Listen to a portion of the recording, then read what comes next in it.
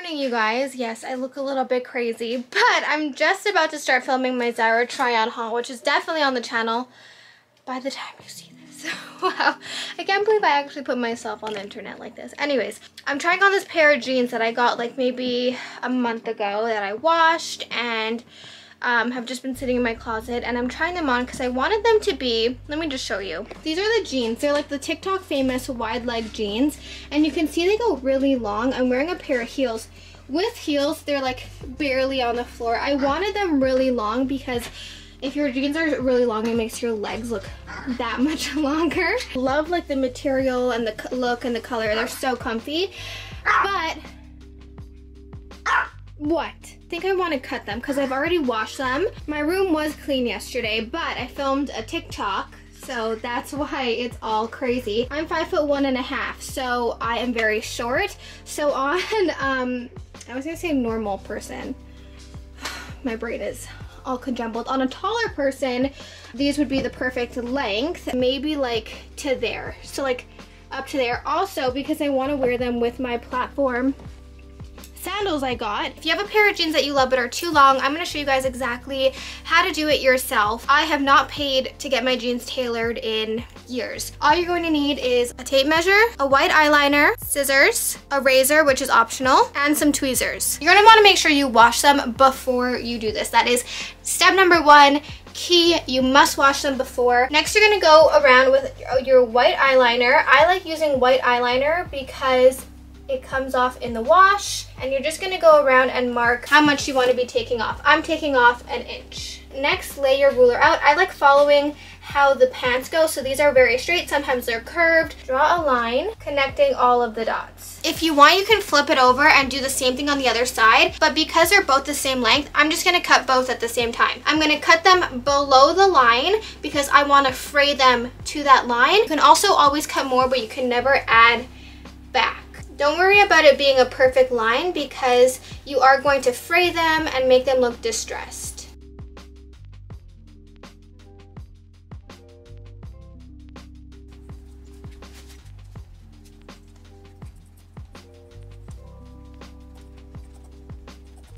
Once your jeans are cut, try them on to make sure the length is good and now we're gonna start distressing. The first thing I like doing is just shaking them like this. That will cause any of the loose threads to pop out, which is exactly what you want.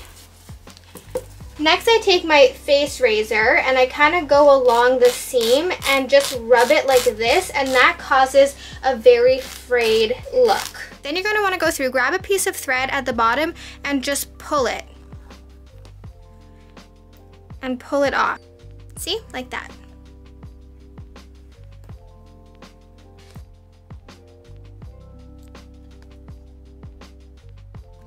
This is what they look like now. And then once you wash them, they will look even nicer and look exactly like how they originally did. So that's exactly how I do that. You can do that to add rips in your jeans, whatever you want. I'm super happy I actually ended up doing that. They're now like at the perfect length where they're super long but they're not dragging on the floor so I just took an inch off. Super happy I did that. Okay, I'm gonna go get ready now to film. Also, they look a little bit tight just because I washed them but they will be perfect, I promise. Just putting on some lip balm. This is the new one from Summer Fridays I just got. It's actually my favorite lip balm, but they changed the packaging finally because their old packaging was terrible. But I wanted to come on here quickly to thank BetterHelp for sponsoring today's video. Video, stop punching me. Come here.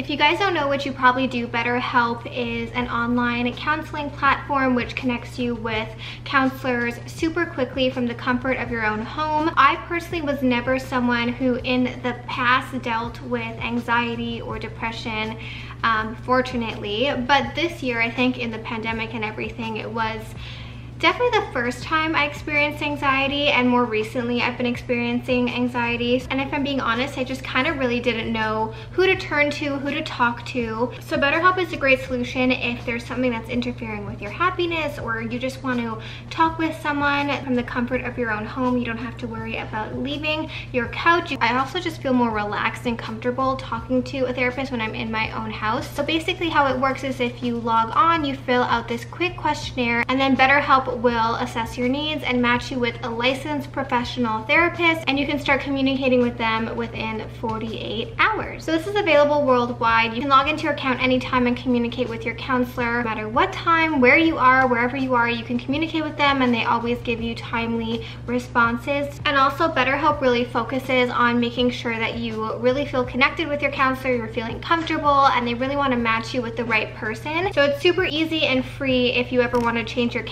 if you ever feel like you need to. Also, what's really amazing is that they have over 15,000 counselors, so their range of expertise is really broad. So no matter what you need, there's a person for you. I just want to remind you guys that BetterHelp is not a crisis line. It is professional counseling done securely online. BetterHelp is already more affordable than traditional therapy, but if you go to BetterHelp, that is H-E-L-P dot com slash Toni, you can get 10% off your first month. They want you to start living a happier and healthier life um, so you can log on and get connected with a counselor that's right for you.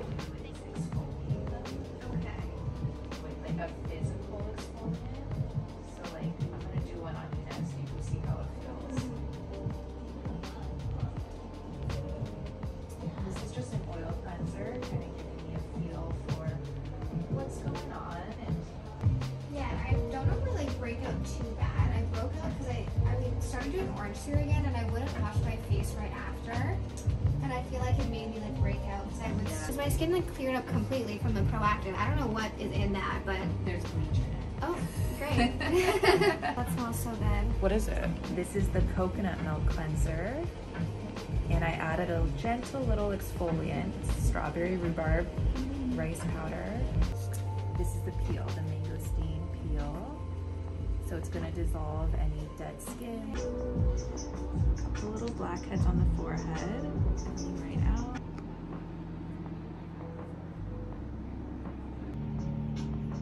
And this is hard wax, so it's gonna shrink wrap around the hair and gently pull as opposed to like the traditional strip wax. Yeah.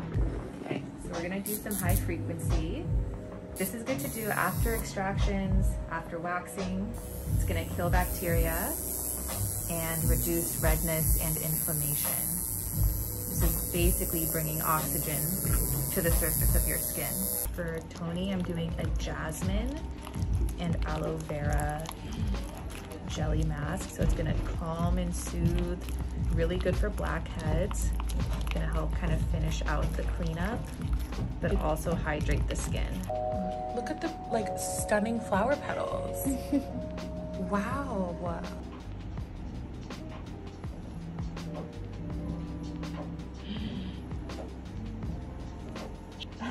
Terrifying. but I am not. Oh my god, I hate that.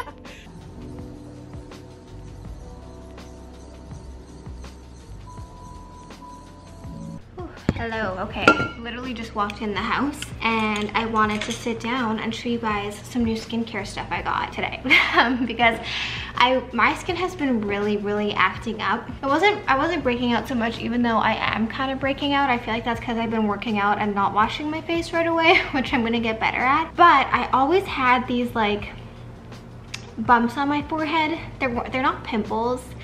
It just looks bumpy. So I booked a facial with my friend Nikki. It's Nikki's birthday on Tuesday. I took her to get a facial today with me and as part of like her birthday present. So I went to Ellen Jane because that's where a lot of you guys recommended and I loved it. I've gotten a facial before that wasn't really a facial. It was like kind of just like testing products, but like this is my first real facial that I've ever gotten and it was so good. I got the LA facial. I paid for the facials myself. I bought all the stuff I'm gonna show you myself because I was so impressed with my skin after the facial. So I was like, please tell me what I need to buy. I realized I had to get like a routine for my skin because I was using all different products on my skin. I think it was just confused. I don't know. Whatever I was doing was not working. So I'm gonna show you guys what I got. I got a lot of stuff. It's from this brand. Um, Eminence Organic Skincare. First thing I got is a facial recovery oil. I love a good facial oil. All of their products smell so good too because I am like a sucker for something that smells good. Why is this so dark? The next thing I got is a tropical vanilla day cream. It has zinc in it, so it's like a natural SPF, I believe. She used this on my skin today and it made my skin look so glowy. It's really like white because it, there's zinc in it and you only need the smallest amount. So then she said because my skin was so congested, I need to do like a physical exfoliant. I'm really good with like a chemical exfoliant, but I need to like use an actual exfoliator. So she recommended this one and she used it on me and it felt so good. The Stone Crop Exfoliating Fizzfoliant. Then I got the Lotus Detoxifying Overnight Treatment because she said my skin was really dehydrated. I needed like a more intense night treatment. You guys, I went crazy on the skincare. Like I'm, I know, I went crazy. This is the Lotus Detoxifying Overnight Treatment. After I exfoliate, she said to do a mask. So the Clear Skin Probiotic Mask just looks like that. I don't... And then I got the Lime Refresh Tonic and the Mangosteen Daily Resurfacing Cleanser. I, I'm telling you guys, everything smells so good. So I'll let you guys know like how this stuff actually works, if it's worth it. Like I said, she didn't give this stuff for me. I paid for literally everything today. I spent so much money. But if it keeps my skin clear and it works, I don't have to use Proactiv and it's organic, I think it's worth it. So then I got a hyaluronic serum, strawberry rhubarb. She said to use this every day because my skin was, she said, very dehydrated. And this was my the thing I was most excited about. It's an apricot body oil. I tested it on my hands and I swear my hands have never been softer. Oh, it smells I like I want to eat it. I literally want to eat it. And then I got two candles. So my sister got me this candle from the brand Mala the brand in this um, scent cereal and I have had it for so long and I still have some left. It lasts really long. It I think it is this soybean candle? So it's a soy candle. I was gonna place an order and I never got around to it, but they had them there, so I smelled them. Buying candles online is a little bit scary because you don't know what it's gonna smell like, right? So I got Fireside. Oh, it smells so good. It doesn't smell like a fire. It doesn't smell like Fireside from Bath & Body Works. It smells like woodsy and, and clean and I had to control myself because I was to buy literally everything in that store. You have to go to Ellen Jane if you're in Montreal. Called Succulent. And I can't even describe this. Like I don't even know I want a perfume in this scent. So far, I'm really impressed with the facial and how my skin feels and like everything. I'll keep you guys updated on my skin and my skin journey and if it's good you guys can test it out. I've never heard of this brand. Oh also I wanted to give you guys an update. So I don't know if I mentioned this but I redid my own tape and hair extensions myself just because you guys know like I do everything at home. I do my nails at home. I do literally everything at home. If I can do it at home, I will. So I took out my hair extensions. I've seen them done enough. I watched a YouTube video. I can leave it linked down below, but I literally just followed the YouTube video and I put in my own tape and extensions. I didn't put in as many as like I, let me show you guys. I didn't put in as many as I had before. I kind of wanted to make it look like maybe a little bit more natural. It's so dark in here, I'm sorry. I didn't do my hair today, so don't mind it, but can you see? I also left out like the really blonde pieces because I wanted it a little bit darker. Let me see if I turn towards the light. So this is the color. But yeah, it's just a very chill Sunday. I'm exhausted though. So I think I'm gonna do that and just relax for the rest of the night because I'm so freaking tired. I think in, in the past two days, I slept a total of like six hours. It seems like they put all of the ducts for the AC. Notice that.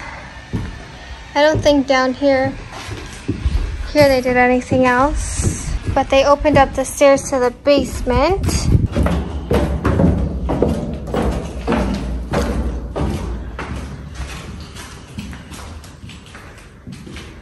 Windows.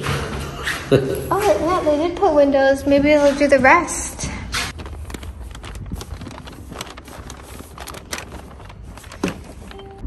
Oh my gosh, you guys. I'm sorry for how I look.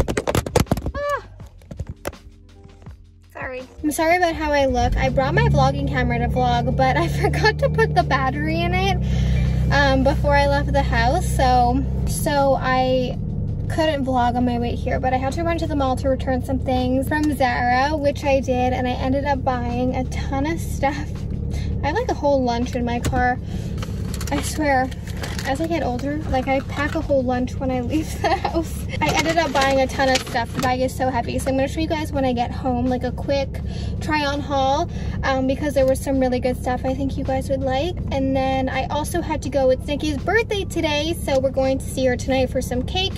And I had to go pick up her present. We got her the full day DAE line. I wanted to try it too, but they only had one shampoo. I was even surprised that they had the shampoo because online it said they didn't and that it was sold. All right, I'm gonna head home now. I need to eat. Those new vitamins I got are really upsetting my stomach and they're really making me tired somehow. And I also just need to take care of this whole situation because I look like a mess. I worked out this morning and ran right to the mall, so let's go.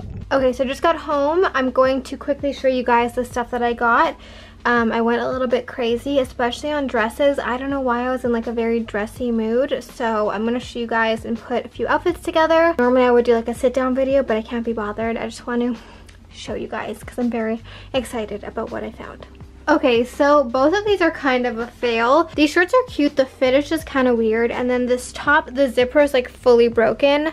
I guess it was broken when I got it. I just didn't see that it was broken. I would have kept the top if it wasn't broke. Very cute. But these shorts, there's just something about it. It's so weird because I got these in a size 36 and they're a little bit snug. But I have size 36 shorts that still fit me. So I don't know if they just started making them smaller. They're cute, but I definitely, they're like not my favorite shorts that I own. So I think these will both be going back.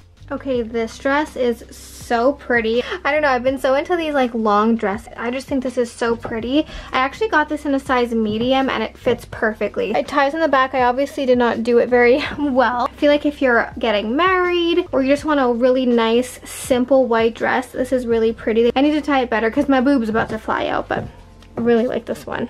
Okay, this is the next dress. It definitely looked cuter on the hanger than it does on me. I was drawn to it because it has these cutout things. I think it's very cute. I feel like I would like it maybe if it was a tiny little bit shorter. And the material's a little bit odd. So overall, it's like a cute dress but it's just nothing I would like write home about, you know? Wow, okay, I love this dress. I was gonna get it in black also, and I didn't, and I'm kicking myself in the butt, so I'll probably order it or go pick it up because it is like my perfect dress, especially for my short girls out there. This probably wouldn't work if you were, um, I was gonna say, probably wouldn't work if you're long, but no, this probably wouldn't work if you were taller because it is really short. Like it goes pretty short on me. But look how cute this is. It has like a puffy sleeve, but the perfect amount of a puffy sleeve. Um, it has this like really nice detailing here. How cute would this be in like a pastel yellow or a pastel pink? Okay, next in a similar fabric, I got this black dress which is like a tight bodycon dress, but a little bit elevated. It's a black linen material, and I feel like it's like, again, it's pretty short. Okay, and lastly, I got a few things that need to be steamed really bad so they don't look so good. This silk bodysuit, which is so pretty, like beyond stunning. I definitely need to steam it. I got this linen overshirt. I think I'm finally done with my linen, but I just couldn't pass this up because it's the perfect shirt to wear with outfits like this. And then I got these shoes, which are like braided looking, kind of like this. They actually aren't as uncomfortable as they look, but that's what I got. I don't know why my camera's acting all weird. I dropped it and I don't know if it's broken.